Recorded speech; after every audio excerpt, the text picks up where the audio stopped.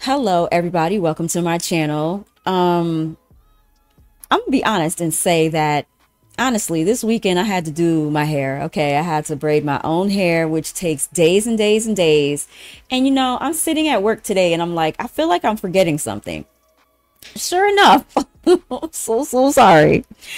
sure enough, I forgot to give you guys the recap for Teen Mom episode number seven. So here we are. The name of this episode is What Are We Gonna Do About Him?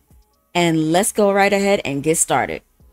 Brianna says that she is still adjusting to her mom being in rehab. She says that she's not getting as much help as she used to. She loves the new house, but their school, the girls' school, is so far away from the house.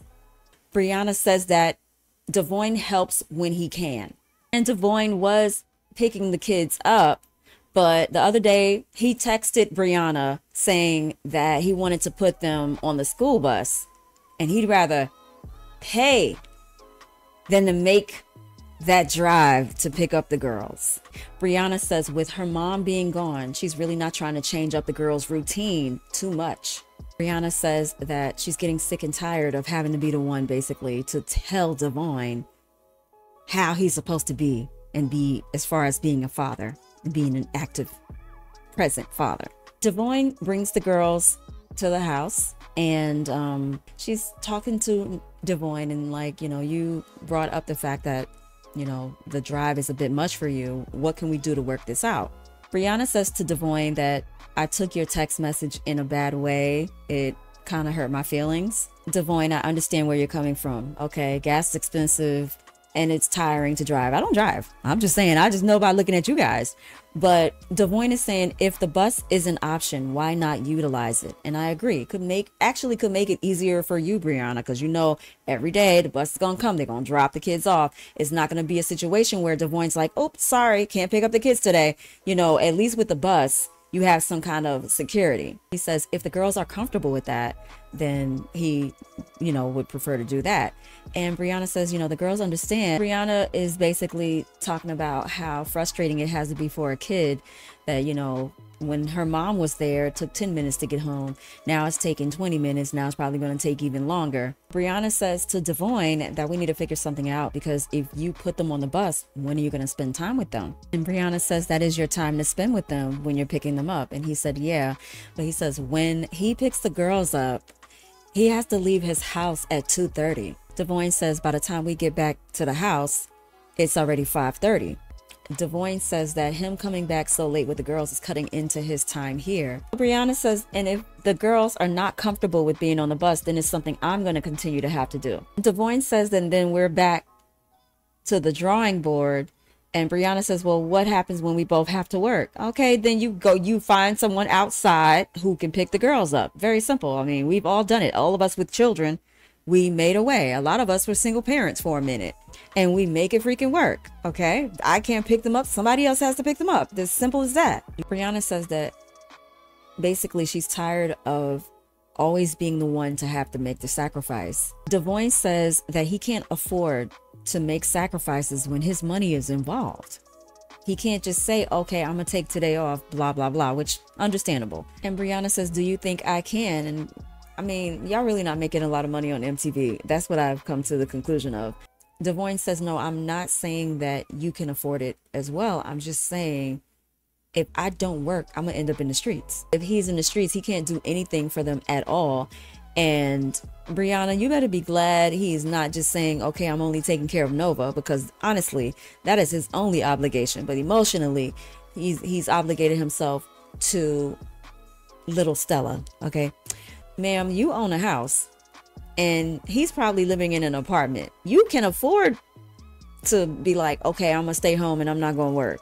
Probably. I don't know for sure. Because like I said, money seems to be very tight on this show as of lately. Brianna says she will get in contact with the buses and Devoin says, you know, talk to the girls and if it's something they don't want to do, then they'll have to figure out something else. Devoin says by no means is he saying that if they, they decide that they don't want to take the bus, he's not going to be around for them anymore. He says that he's not saying that. I really believe that Brianna be really, really portraying Devoin as this terrible, terrible person and this horrible father when he's the only one that I see consistently on this show. And frankly, I'm getting sick of it. Okay. I don't know if it's colorism. I don't know. I'm gonna bring it up. I don't care. I don't know if she just, I don't know why she's expecting oh so much from him now. Granted, every woman wants a good father for their children, but where's Lewis? Is he not doing more than Lewis is? So I don't understand why you're so hard on him. And what he's saying right now does make sense. The man has to work, you have to work. So then, if both of you have to work, then you need to find a solution that does not prohibit either one of you from working. And then Devoin says to Brianna, We will figure it out. Corey Taylor and the children are moving into their neighborhood. Yes, into Cheyenne and Zach's neighborhood. Cheyenne says that she's happy about it because it'll make co-parenting with Ryder a lot easier. They're only about five minutes away. Now, Cheyenne, Ryder, her mom, and I think that's her dad or her stepdad, child, I don't remember. Anyway, they're all going to go take a look at Corey and Taylor's new house. Now, don't think I forgot that Taylor was crying and boo-hoo-hooing at Teen Mom Family Reunion because Corey would not marry her. But you're over here making a happy home, literally buying a house with Corey, living like y'all are a married couple. Why in the hell would he ever need to pop the question to you? Um, I kind of didn't realize that I wasn't on camera all that time. Now, you know, they had to have a scene where all of the guys are agreeing to this get together. Pretty much they're going to be skiing and drinking. And that's all I gathered from this information that they gave us. Gary is here with Kristina and he's talking about this guy's get together. And he says maybe Amber's Gary should go. Is he a father? Has he put in his time on Teen Mom? Then no, he shouldn't go. For what? Why would he be there?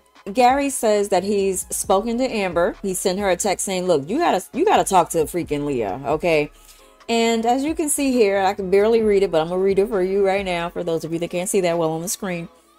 Amber claims that she's texted Leah a million times and she gets no answer, nothing ever back. She says that she's done everything in her power to be in her life. I be adding, okay, I be paraphrasing, so sorry. Um, she's done everything in her power to be in her life and she's gotten no- she's gotten nothing. She says she never gets to spend time with her. She's excluded from all of her schooling, and I wonder why. How did you behave at Leah's birthday dinner, Amber? Did you apologize? Did you acknowledge what you did was wrong? No, you didn't. I didn't finish the entire um, message that Amber sent. She's tired of fighting for attention from everyone. Amber, if you were a good mother, you would never have to fight for attention from your own child.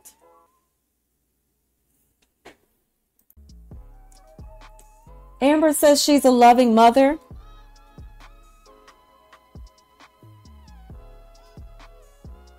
You are? How? You literally called your daughter a dick on her birthday. I mean, did you do you want to go back and watch the recap? But I need MTV to get rid of your ass off the show because I'm tired of talking about you. You are a terrible excuse for a mother, actually. And um, you basically said in this text message that you give up on your daughter. You give up on your daughter, yet you're all for this relationship and want to push for this relationship with Gary, the other Gary. Kristina says this is very shocking to her. Okay, and we can tell by the look on your face, girl. And Gary says that he's not told Leah about this. He doesn't know how the hell he's going to approach the situation. Gary's like, if he tells Leah this situation, you know, Kristina's like, that's like letting her know that her mom really just honestly just doesn't care. Gary says Leah is already at that point, and I know what Leah needs. And he says Leah needs her mom. Even if your child is pushing you away, you don't just turn your back on them and give up on them. Gary says Leah wants a mom who is not selfish. Sorry, I, I didn't know what I was going to say there. Um, Gary says that Leah wants a mom who's not selfish. Kristina says that she's the one that does all the motherly things with Leah. Sorry, I said motherly very weird because, uh, you know, braces anyway. Kristina says she's the one that does all of the motherly things with Leah. She goes to all her events. all, whatever she needs her at, whenever she needs her, she's there. Kristina says no matter how much she does, she cannot fill the void of Leah's mom. Kristina says that she can be the motherly figure, but Leah still has that space where Amber is supposed to be.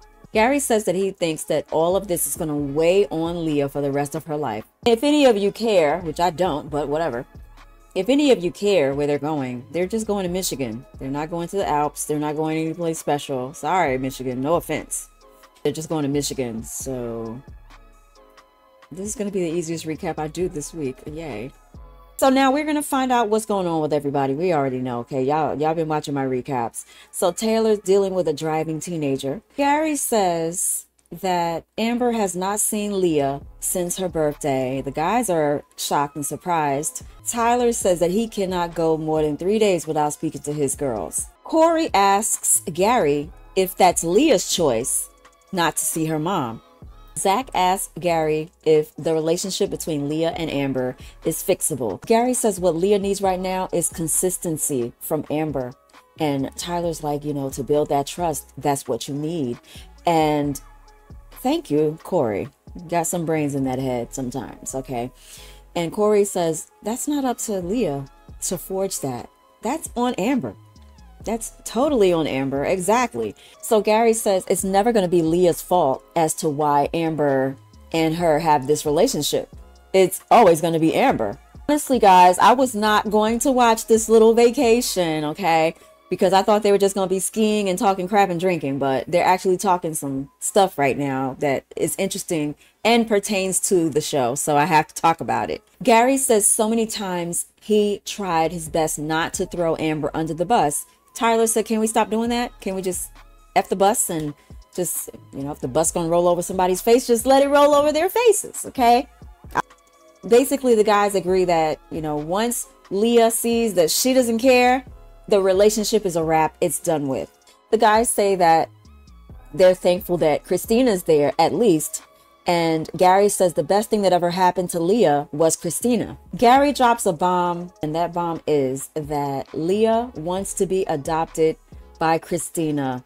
Y'all know Amber is not going to let that freaking happen, even though, as you can see, She's already given up on Leah. She wants nothing to do with her. She's not going to try to contact her anymore. All these different excuses as to why she should just give up on her daughter. I promise you, as soon as she finds out that Leah wants to be adopted by Kristina, it's going to be a whole nother motherfucking story. Gary says that Kristina would in a heartbeat. And Zach says, Does Amber know? Gary says, No, Amber does not know. Tyler, you got a big mouth. Nobody told you to run to your wife and tell her that. Amber doesn't even know. So Amber's going to basically find out from somebody else because of your big mouth. He asked Catelynn if she's spoken to Amber and thought about her, so she sent her a little text or whatever. And Tyler's like, yeah, there's a situation that Gary brought up where Leah wants to be adopted by Kristina. So Tyler lets Catelynn know that Amber doesn't know, and Catelynn says that Gary needs to tell her. First of all, Gary should tell her on his time. It wasn't up to Tyler to open his big fat mouth to his wife and tell her the situation. Kate says that when Amber does find out, it's going to be extremely triggering for her. Kate says that Gary might need some extra support. Kate says it's going to be hard for Gary because he's such a people pleaser. And Tyler's like, let Amber own her own crap. Don't worry about trying to cover or protect her. So we're back with Brianna, and she's explaining to the girls that this is very difficult for the both of them, being that the school's so far, and it's really hard for her, Nova, for Nova's dad to be traveling so far, and wants to know would they be okay with taking the bus. And after Brianna says, I was wondering if you guys would be okay taking the school bus, look at Nova's face. She's not trying to hear that. Nova has grown up so much that it really makes me feel like an old freaking auntie. Like Nova has grown up so crazily, so crazily. It's like we remember when she was a baby. So she's sitting here and she's telling Brianna like, I really don't want to take the school bus. It's freaking hot on that bus. Nova says she also doesn't like the fact that there's a lot of people on the school bus. Brianna says that it wouldn't be like a regular school bus. It would be a private transportation bus. In that case, girl, I'm on there because that means there's going to be AC on there and I'm not going to have to be around other little brats. So why not? Stella does not want to either, but honestly, I think she only doesn't want to because Nova doesn't want to, and y'all know how siblings are. Now, I'm all for you caring about your daughter's feelings. I promise you I am. I'm not a heartless person, but kids got to learn sometimes they got to have stuff that they don't always want. Okay? And if it's a hard drive for Devoin and it's a hard drive for you, then I wouldn't even ask them. I would just be like, I'm really sorry. Maybe I'm mean. I don't know. Anyway, you guys are taking the school bus starting next week. I mean, what do you want? I mean, it's a private bus. This is gonna be you're gonna be you're still gonna be living a very lavish life. You're still gonna be living a lot better than your, you know, your classmates or whatever. They're gonna be on a regular school bus. You're gonna be on a freaking private bus. It's gonna come pick y'all up, drop y'all off. Like, sounds good to me. Brianna asks Stella why doesn't she want to take the school bus, and she doesn't even know. Brianna asks, so what do you think we should do? And Nova is so smart. Nova says, well, there's a school over here in our neighborhood. Brianna says, if your if your sister's willing to change schools, are you? And Stella says yes. Brianna says, we would have to let you guys finish out the school year. I would not want to switch you in the middle of the school year. So now somehow we go from changing schools to Brianna talking about how she was dropping it like it was hot in the club to get that old dusty, musty loser Lewis. And I, for one, couldn't care less. I am ready to leave this scene before I puke on this keyboard right here. Why can't y'all shut the hell up? Like, why can't y'all shut the hell up? Anyway, in the next scene, we have Catelynn, and Catelynn calls Maci. So Catelynn says to Maci, Did you hear about the situation with Gary and Amber? Proceeds to let Maci know that Leah wants to be adopted. Gary, you should have just kept that to yourself until you told Amber because these people are big mouths and don't know how to shut the hell up, apparently. So Maci asks, Is Amber communicating with Leah like she was before? And Catelynn gives that sorry excuse that Amber gave Gary. Oh, I'm reaching out, but I'm not getting anywhere. And Catelynn says it makes her feel like a crappy friend to be sitting on this information and not telling Amber. Why is everybody so concerned about Amber's stupid ass feelings? I'm sorry, but what the hell? And you're worried about being a shitty friend, Catelynn, when your friend, quote friend, Amber, isn't worried about being a shitty parent because that's what she is. That's why she doesn't have custody of either of her children. I can't stand enablers. If your friend is a piece of crap, first of all, they shouldn't be your friend. That's number one. And if you're going to remain friends with a piece of crap, in a way, in a way, it kind of makes you a piece of crap as well. I'm just, I'm just saying, I'm just saying. Maci says that pisses her off that Gary's going around telling people. And Maci, it does does it piss you off that your friend is a loser ass mother? Does it piss you off that she's not contacting her own daughter? That she's not keeping in contact with her daughter? that she disrespected her daughter at her birthday dinner. I'm not, I'm not to forget that. No, that doesn't piss you off. But Gary expressing things going on in his life because it's his life, not just Amber's, is pissing you off.